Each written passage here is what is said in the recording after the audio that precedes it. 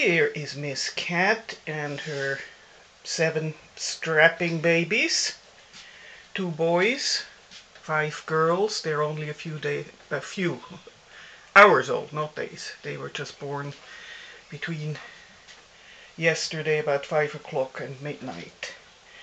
And here is Alisha Gutierrez, who allowed me to have some sleep while she was watching Miss Kat. We thought she might have another one, but she didn't. So, uh, and that usually means that someone has to stay up, awake, for all night to see if uh, if something happens. But nothing did, right, Kat?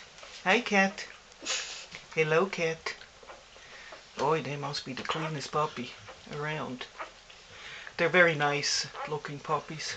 Very good in weight, I would say average probably about 19 ounces, which is an extremely good weight for uh, Swissy puppies.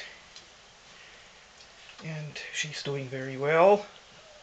I don't think we'll have any problems and now we just hope that they will grow and stay healthy and happy.